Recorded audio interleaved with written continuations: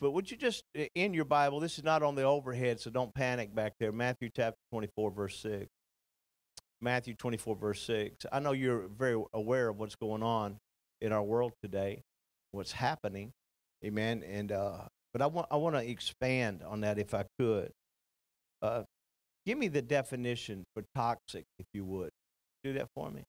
Amen. There it is. Toxic, extremely harsh, malicious, or harmful, infectious, often caused from bitterness. Bitterness is causing painful emotions felt or experienced in a strong and unpleasant way, angry and unhappy because of unfair treatment. I, I looked this up because I just wanted to know. I know you know about the, the war, the conflict with Russia and Ukraine right now. And again, you, you have to pray for them, but you have to also, in not trying to uh, belittle what's happening there, did you know they're still killing people in Syria? It never stopped. We just took our news away from it. There are 195 countries on our globe. 195. Looked this up yesterday. Just wanted to know. And I asked a question out of 195, how many of those countries are in war and conflict? Anybody want to take a quick guess? 174 are in conflict or in war. And when I read that, you know, because our eyes right now are on uh, what's happening in Russia and Ukraine, we yet to recognize and realize that this world has never stopped war and conflicts. It's the, the, greediness. I think the scripture calls it the lust of the flesh, lust of the eyes, the pride of life. These are the things that cause that. Uh, absolute power corrupts absolutely. You put leaders with absolute power in, and they start becoming corrupt. Uh, the hardship on the one we're dealing with right now is the fact there are nuclear bombs uh, that could very easily, out of pride, be detonated. So we don't know. What, but I came to church this morning with serenity, peace, knowing that what a great country that we live in. That uh, if if you don't own a gun, lift your hand. God love you. If you want one, let your boy does. Okay, one person in this whole church don't own a gun. You see why I asked that way? You know, because the bottom line is we will not be invaded, or they'd be stupid to invade us, because we all have a way to defend ourselves. So this is where the world that we're living in today. So when I looked at uh, 195 countries and 174 of them are in conflict, I went back to Matthew chapter 24, verse 6, that says, And you will hear wars and rumors of wars. This is Jesus talking about when he comes again. See that you are not troubled. It's okay not to be troubled. Amen. See that you're not troubled. For all these things must come to pass, but the end is not yet. For nation will rise against nation, and kingdom against kingdom. And there will be famines, pestilence, earthquakes in various places. All these are the beginning of sorrow. Now, however you look at your eschatology, which means the, the end of the world, that all of this has already happened, this has continued to happen. It hasn't stopped yet. But the issue is, is the escalation of it. And when you got 195 countries in the world and 174 of them are at conflict or war, then you realize we have an escalation. Amen. We're moving up, up, and we're being drawn into them also. And will be, and always have been. So I want you not to be so troubled, but I want you to pray for them. Pray for their peace. Pray for the children.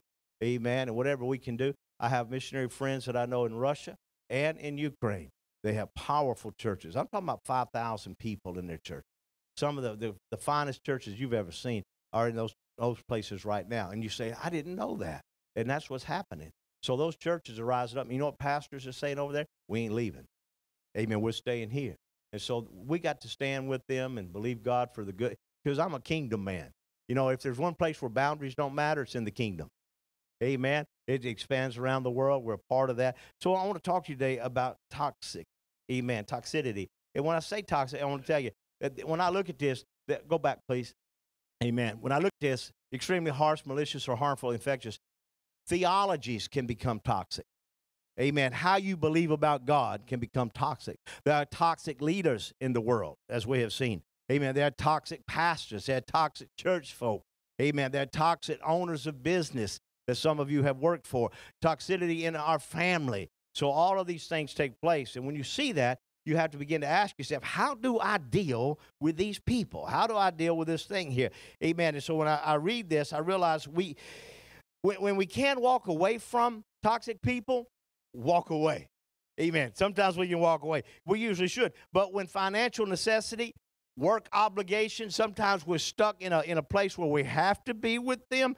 Amen. Family relationships or even the accomplishment of our God given mission necessitates that we find a way to live or work with a toxic person.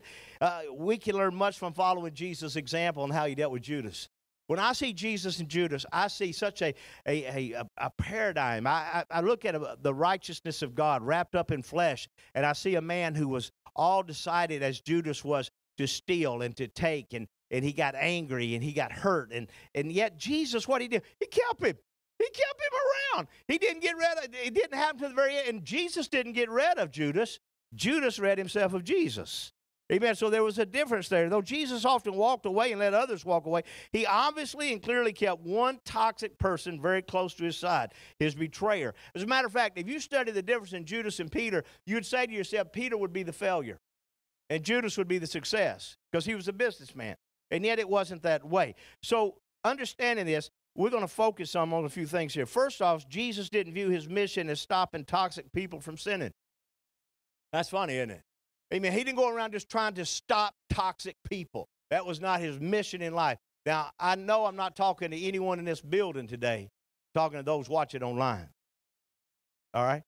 But a lot of folk feel like it's their mission to be fruit inspectors, amen, to go around and and to make sure that people stop doing certain things. John chapter 12, verse 4 says, One of Jesus' disciples, Judas, who was later to betray him, objected, Why wasn't this perfume sold and the money given to the poor? Remember the story.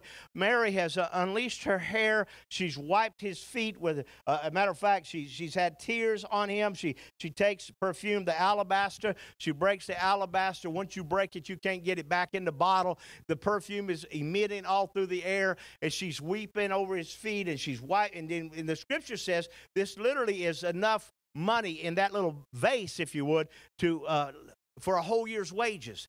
And yet, if you got to imagine what you make a year, and would you give up that one year for that one moment?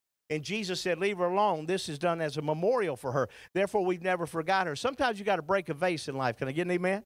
Amen. You got to do something a little extraordinary for Christ. You got to you got to just go outside the box, if you would. And that's what she did. Well, that upset Judas. Well, as a matter of fact, it didn't upset him. It was a setup, as a matter of fact, when he saw that. And he said, You know, this money could be given to the poor. If you wanted to touch Jesus' buttons, if you wanted to hit a button that he had, talk about the poor. He was all for the poor. He was all for the downcast. He was all for those that were hurting physically and spiritually and mentally. And so when Judas said poor, oh man, he's going for it. And sometimes people know where your button is. I told you this last week, and they'll hunt for it and find it. And Judas found it. He touched the word poor there. He said it was worth more than a year's wages. He did not say this because he cared. He said about the poor, but because he was a thief. He was toxic. He was dangerous. Amen. And as a keeper of the money bag, he used to help himself to what was put in it. That means, uh, you know, uh, the nine for you and one for me. And, and he would slide money over to himself. As a matter of fact, he was sandbagging, if you would, the finances that the disciples were getting. And how many know if you want to make money, hang out with Jesus? Mm, come on now. Amen. He can find money in a fish's mouth. Amen. People want people give to good ministry. It's just the way people are. They see ministry, they see how it helps, they see how it blesses, they give to it. Now, there's no better, greater ministry than Jesus. So here's Judas following along with him. I mean, even Peter, James, and John knew if you wanted to go fishing, take Jesus. Yeah, there'd be enough fish to go around feed the village there. So if John knew, and John's the writer here, if John knew that Judas was a thief, then you know that Judas, that Jesus knew that Judas was a thief. In fact, Jesus knew that Judas was worse than a thief. In John chapter 6, verse 70, he said, Have I not chosen the, you, the 12? Did I not pick all 12 of you? And by the way, one of you is a devil. Ooh. That'd be like me gathering the whole staff of the little country church together and say, Didn't I pick all of you? And one of y'all's a devil. I mean, I can see it right now. David looking at Joseph, Joseph looking at David. Here's across the room. We're kind of gathering around. Because that's what they did. They would, they would look at each other go, oh, I wonder, wonder who he's talking about here. So Jesus knew Judas was toxic, and he could have stopped Judas from stealing and his future betrayal by kicking him out of the group. He could have done that. John chapter 13, 27, which tells us about, and we'll talk a little bit more about this later, but right now he mentions about Judas as, as soon as Judas took the bread, Satan entered into him. So Jesus said, I know you're a devil. Now Satan's entered into him. And he said, What are you about to do? Do quickly. Jesus told him. You know, the scripture tells us in the book of Psalms, which was over a thousand years before this happened, that there would come along one that was going to kick Jesus with a foot, was going to trip him. I've often used the phrase kick with a clean foot because Judas' foot had been washed by Christ. And after that washing of his feet, Judas turned around and kicked him with it. Psalm 41 9, even my close friend, whom I trusted, he who shared my bread, has lifted up his heel against me. So why didn't Jesus kick him out? You got to keep the bigger picture in mind. Seeking God's kingdom first. And this is what's important. That's why Jesus said, when you see wars and rumors of wars, don't be troubled. You got to keep the, your eyes on the kingdom. Amen. And what's really important here? He had to raise up a band of disciples. He also had to die on the cross. He wasn't waylaid by individual petty battles that his disciples were going through, whether uh, G- uh, Peter was upset over John and asking for forgiveness seven times 70, as we're prone to do with people around us. Addressing Judas's thievery would be like a neurosurgeon clipping someone's fingernails. There, there were more important issues at hand. Listen, there are more important issues at hand than dealing with the same old toxic people over and over again. Amen. And Jesus' mission was not to stop everybody from sinning. Don't let the small things take away you from the bigger picture. Many of us, we think our goal in life as believers in Christ is to make sure everybody around us don't sin like us. Mm-hmm. So, a freeing word for me, amen, to realize that our mission is not to confront everybody's sin you hear or know, or even among your uh, perhaps toxic family members or coworkers. Of course, you know, if you're a parent of a child and the child is a little bit toxic, I understand staying with them, I understand working with them. You, you can't separate yourself. You've got to learn how to deal with it. So, as we move through that, Jesus could have spent all 24 hours of every day trying to confront every one of his disciples' sins. Peter, put away your anger. Put up that sword. Thomas, why are you still doubting me? Amen. Thaddeus, you're a people pleaser. You're just a suck up. He could have dealt with all 12 all the time. Amen. Over and over again. Instead, he focused on training and equipping reliable people. And this is something you got to learn to do. You got to find the good in the mess. Amen. And when you find the one that you can pour your life into, that's important. Focusing on others' sin makes you focus on what's toxic always looking at that. Focusing on training makes you focus on what is good and on who is reliable. The latter is much more enjoyable. I encourage you to do that. So, because our goal is to seek first God's kingdom and righteousness and to seek our out reliable people in the process, we've got to let a few things slide right by us. As a pastor, when I first started pastoring, I remember, uh, Kenny, it seemed like all the people I was gathering, you know, I used to use this phrase Every loose nut wants to find out if you're the boat they belong to. And they show up at church. And, you know, I was down at the hotel here and starting church, and, and, and toxic people, they find you. I had a pastor call me last week and warn me of uh, somebody who was toxic in his church and said, Beware if this person shows up because I told her you were my friend. Well, thanks a lot, buddy. Amen. But I'm, I'm used to dealing with it. But here's the thing I don't give them a time of day. Amen. I don't allow it to distract me from my mission. Uh, and, and, as a matter of fact, the more you can help people that way, they, they, they begin to lose their toxicity. Here's what I really believe in I know that a bad apple can spoil the whole bunch. But I've also believed in the opposite. Maybe the world won't tell you this, but you hang out with good people, you often become better. Amen. I often say if you drink after me, you get well. So you say, well, I drink after somebody sick, I get sick. Okay, well, if I drink after somebody well, get well. It's important how you believe. Can I get an amen? Amen. So you got to hang on to a belief system. You know, that uncle who brings another woman half his age to your Thanksgiving dinner, not our problem. It's going to be his later. The coworker who had too much to drink at the office party. If we're not the boss, that's not our concern. Besides, one sin is never the issue. Alienation from God, shattered psyches, unhealed and unaddressed hurts, those are the real issues. Feel free to enjoy people. Amen. And to, and to love them without having to serve as their conscience. You don't need to be there. I've often said to other people, why are you trying to be my Holy Ghost? I got a Holy Ghost. Amen. Some folk feel like they're destined. They got to be the one. They got that pro- prophet uh, anointing. Amen. Before long, they profit line.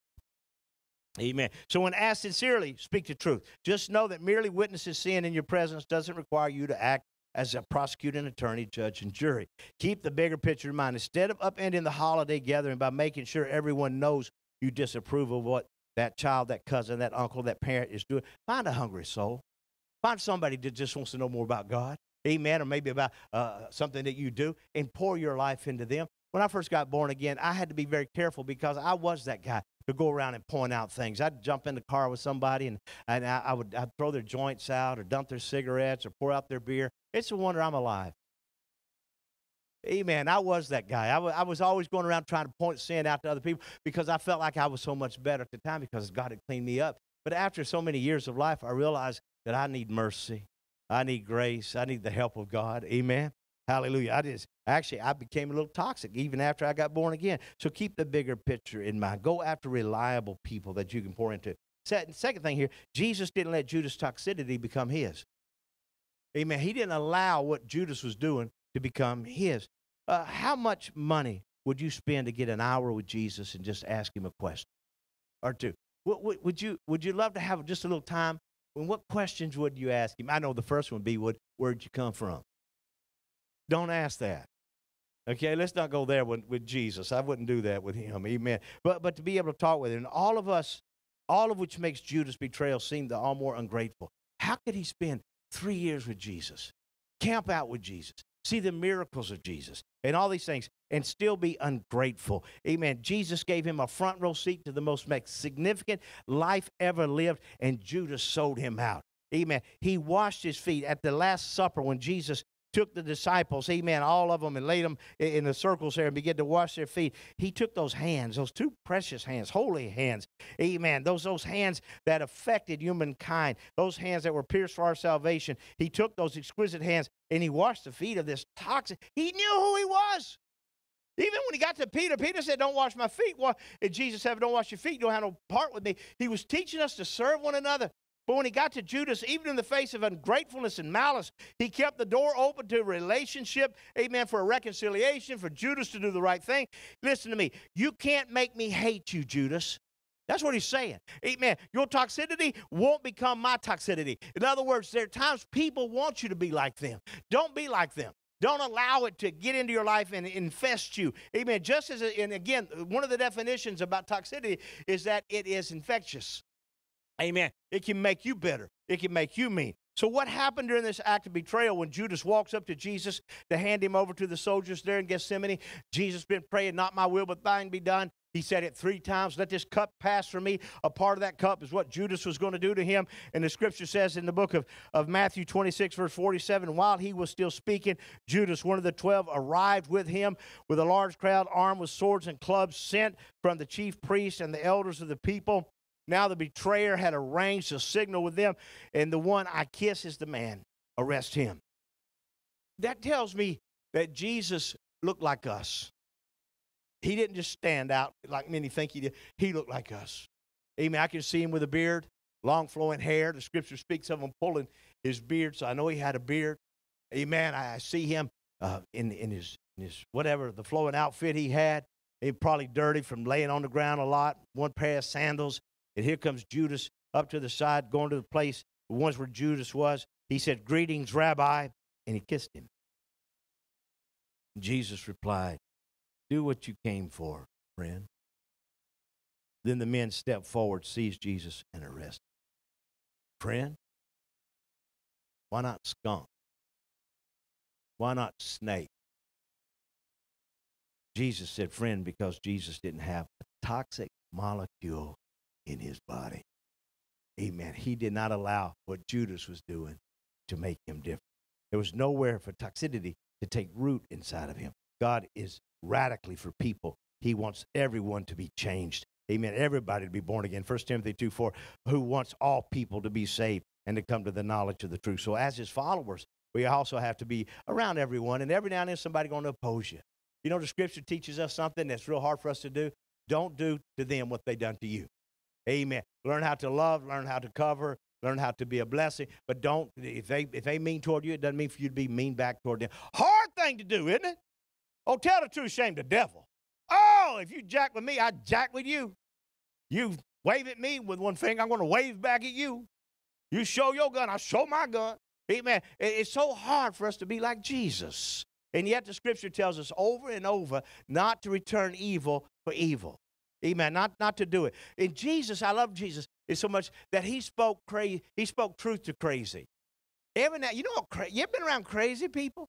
It's funny how today people think being crazy is a badge of honor. Amen. It's not. Amen. It's the next toward, step toward insanity. Amen. To being on your way out. Stay sane. While Jesus invited Judas into the relationship until the very moment of betrayal, washing his feet, even calling him friend, he never pretended that Judas was doing, was it toxic? In fact, he warned Judas at the Last Supper that if he were to go through with his plans, things wouldn't end well for him. As a matter of fact, Mark chapter 14, verse 17, when evening came, Jesus arrived with the twelve. While they were re- reclining at the table eating, he said, Truly, I tell you, one of you is going to betray me. One who's eating with me. Again, the looks. You know, they're looking around the room. Which one is it? Amen. Thomas got his head down. He don't know. He's doubting whether he can pull this off. Amen. So here they are. They were saddened. And one, of, and one by one, they began to say, Surely you don't mean me. You don't mean me. It is to one of the twelve, he replied, one who dips bread into the bowl with me. The Son of Man will go just as it is written about him. Watch. But woe to him. Woe to that man who betrays the Son of Man. It would be better for him if he had not been born. Jesus spoke truth to crazy. He said, You want to do this thing? It would be better if you'd not have been born. When Judas kissed him in Gethsemane, the word was, Are you betraying the Son of Man with a kiss? When working around toxic people, you don't have to pretend they're not toxic. You don't have to pretend they're not crazy. Amen. Well, what you're doing, uh, you don't have to pretend that they are well meaning, but maybe they're just misguided and they need a little bit of help. The reason this is good news is that it helps preserve your sanity. Amen. Toxic people are experts at twisting things. They make us feel crazy for admitting the truth. But as followers of Jesus, we're committed to the truth. When you know the truth, truth sets you free. Amen. I no longer have to be bound by your craziness and your toxicity. Jesus said, I'm the way, the truth, and the life. So here it is. Uh, craziness is a clear sign of toxicity. Let me give you some other signs self absorbed, shows a lack of concern for others, touchy, very sensitive. I've been called the opposite. But man ain't got no sensitivity at all. I'm learning. I'm learning to be a little bit more sensitive. Next, becomes possessive of a few friends, has an unusual fear of losing them. Toxic. Once they connect to you, they, they don't want to let you go. And if you do leave, then they're going to hate you. Shows little or no gratitude extremes, speaks words of empty flattery or harsh criticism, holds grudges against people. They dead and gone, and you still mad at them. Has a stubborn, sulky attitude. Again, this has none of you, them that are watching me right now. Possibly unwilling to share, mood, extremes. See, toxic people are often bitter people. Hebrews 12 is a warning to us. Verse 15 See to it that no one misses the grace of God and that no bitter root grows up to cause trouble and defile many. Again, we've often said the fruit's and the root. The root is so important. Bitterness is again causing painful emotions felt or experienced in a strong and unpleasant way, angry and unhappy because of unfair treatment. I was talking to a pastor friend of mine in Montana this week. He told me it was 29 below while we were talking, I told him about a friend of mine that years ago told me this, and I've never ever forgot it. And I call it the four A's. Ang, uh, go to the next one. I'll come back to it. There it is. The four A's. Anger always assassinates authority.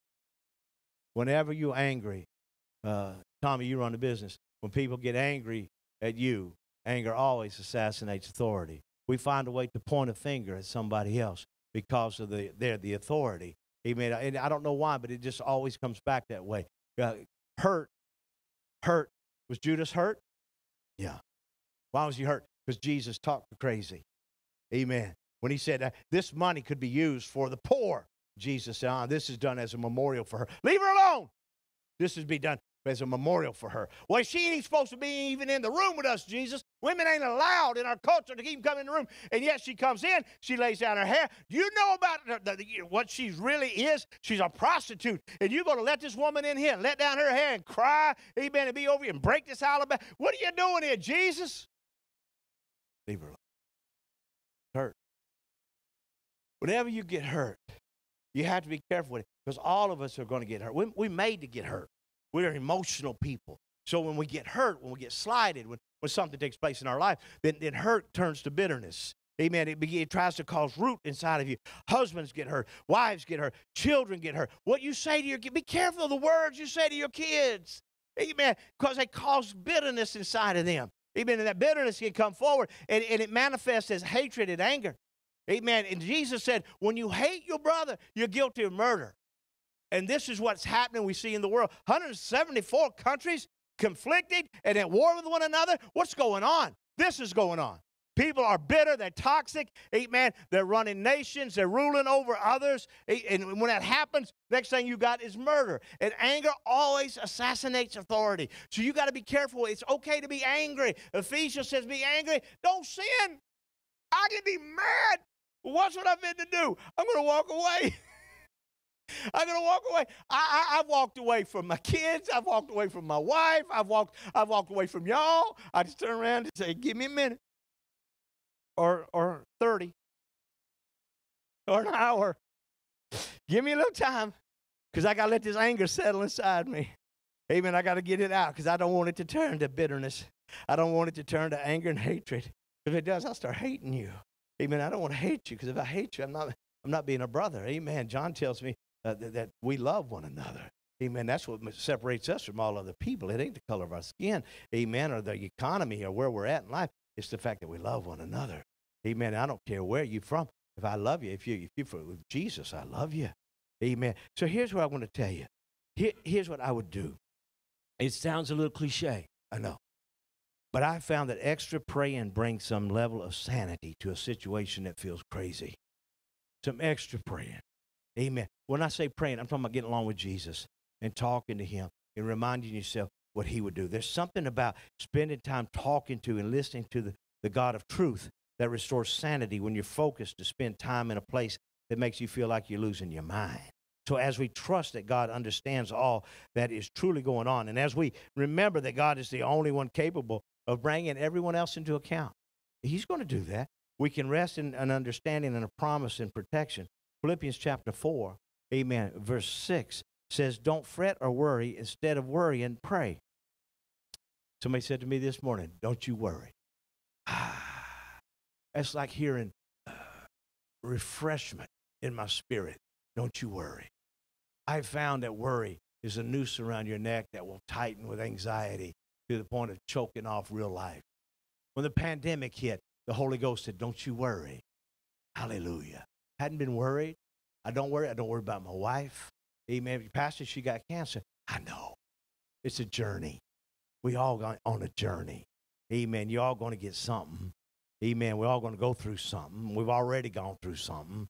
Amen. Why would you be excluded in life? Don't worry. Amen. Love God through it all. Amen. Because if I worry, I'm, I'm, I'm falling into the devil's trap. I'm not going to worry. Even I'm going to pray. Pray. That's what it says. Let petitions and praises shape your worries into prayers, letting God know your concerns. Before you know it, a sense of God's wholeness, everything coming together for good, will come and settle you down. It's wonderful what happens when Christ displaces worry at the center of your life. Amen. In closing, let me give you some takeaways here, real quick. Some things you can take away with you. Please write these down on your phone Amen. If you go to my phone, I have places I write things down. I've learned how to use that part of that. If necessary, write it on the back of your Bible. But sometimes we can't walk away, but we have to learn how to live or work around toxic people. And it's going to require us to become stronger than we've ever been before. It'd be nice to say, I, I don't have to be around them. And the issue for me is for you is to learn how to not allow you to become toxic. Amen. Be that one person everybody likes to be around. Hallelujah. Amen. Everybody Everybody's being. So first, don't try to control a controller. Don't try to control a controller. Now, again, I'm not talking to anyone in this room. But you know, I, I'm a little bit of a controller at times. Amen. I like to I like to see things go the way I want it to go. So I'm, I'm, I'm after things that I, I walk around, but I found out there are things I cannot control.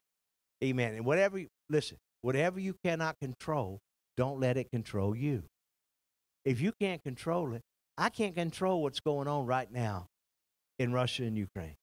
I can't control what's going on in Syria. I can't control what's going on in Northern Africa. But I can do my best to be a blessing here. Amen. But don't don't try to control a controller. Work around them as you're required to, but don't let their ups and their downs and their mood swings become your ups and downs and mood swings. Keep a healthy level of distance between the two of you. Next thing, keep first things first. We use the term priorities. Keep things priorities, dominoes falling. Keep that first domino and then take care of it. First things first, so important. Our job isn't to stop people from sinning. Focus on investing in reliable people. I'm going to find the right people here. One of the things I've done in, in ministry over the years, and now it's been, uh, what, 28, since 1993, I've been pastor. I've often hired people that were similar to me, and that was a mistake. I started hiring people that were opposite from me. Amen. Because I had to start staffing my strengths.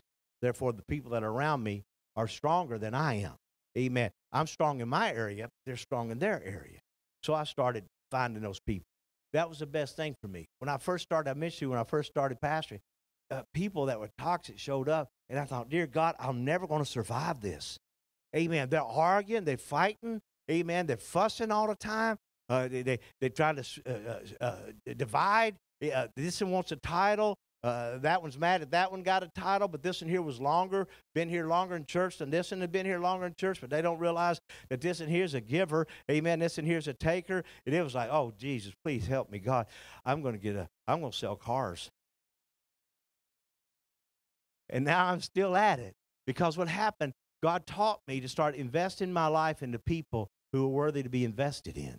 And as I started doing that, things started changing. In other words, the term was high impact people. Find high impact people. Pour your life into them, Jody. And when you do that in high impact, they're able to help the low impact. Because low impact, they just need a little help sometimes.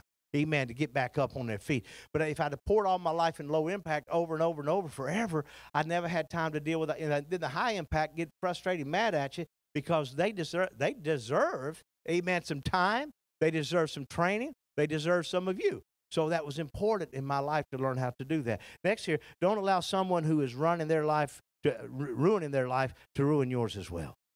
Leave work at work if you can. Amen. Leave family drama family gatherings if, if you can. Let me tell you this don't chase a prodigal. Prodigals can become toxic.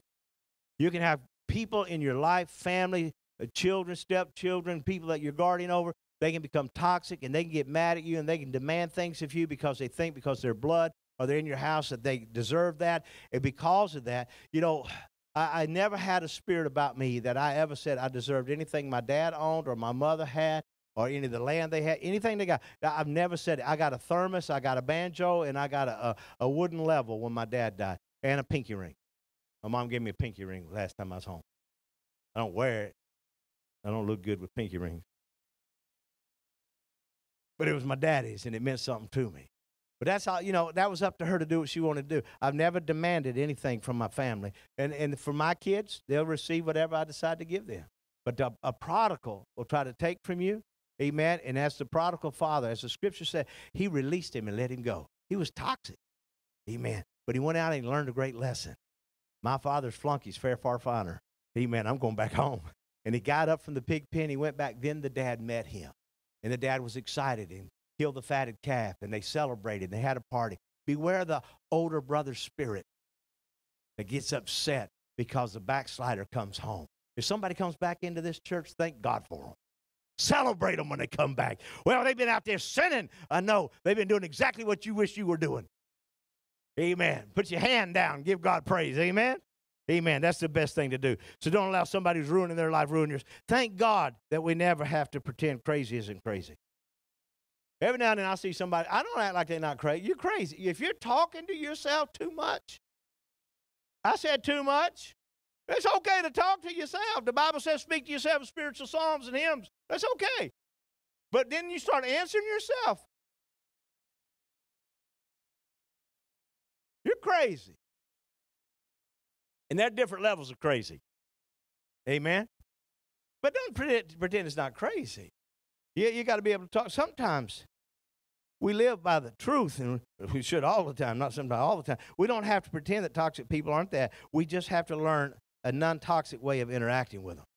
I don't have to be crazy to be around crazy. Amen. And don't allow your life to become toxic. Don't allow your life to become toxic. Deal with anger when it happens, deal with hurt when it happens. Amen. Hear that as a warning because you'll go down a road you can't come back from. Amen. You'll, you'll start hurting and hating people. People that fall away from God, the term I think is backslid, that walk away from God, are those who get hurt, that can't deal with it, doesn't deal with it properly. They get bitter, amen, and they start hating. I'll hear they hate me. And I'll say, How did they hate me? All I was was good to them. You did, they didn't leave the church when they, because they hated me. They were mad at Joseph. The next thing I know, it's me. What was, why me? That's what hurt does. This is a vast topic. How long we stay on it, what we do with it, we'll, see. But I'm just telling you, and I'm warning you don't allow hurt to lead you down a road of bitterness and murder. And Jesus said, we, we think it in our heart, we've already done it. Amen. Repent of that. When, I look at this man, Judas, Jesus' relationship with Judas teaches us how to deal with backstabbers and thieves and liars, extremely challenging people.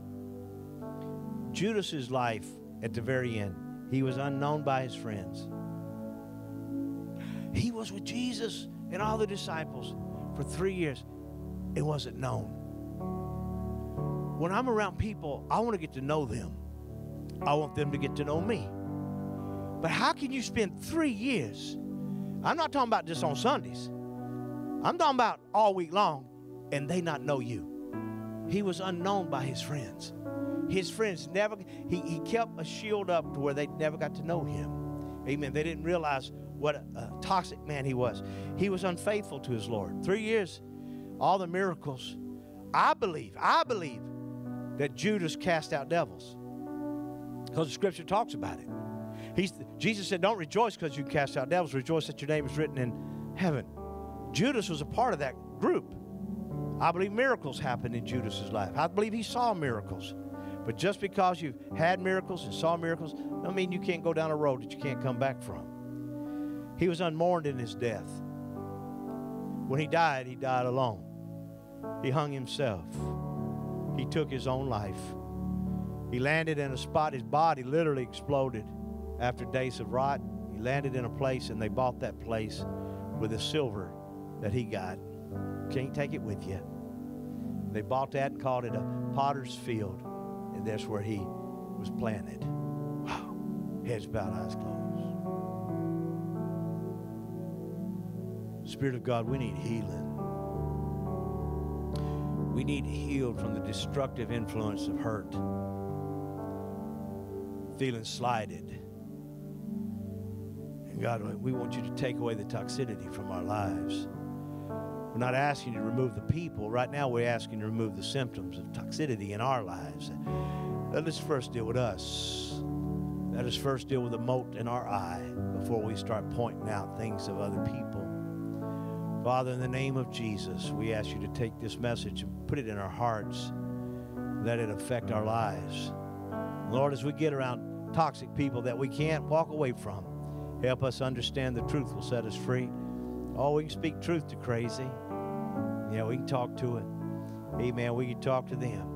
And we can believe, God, also that there'll be times that you're going to put reliable people in our lives to spend more time with than dealing with the same old, same old all the time. The Spirit of the Lord would tell you right now don't answer that phone, don't open that door.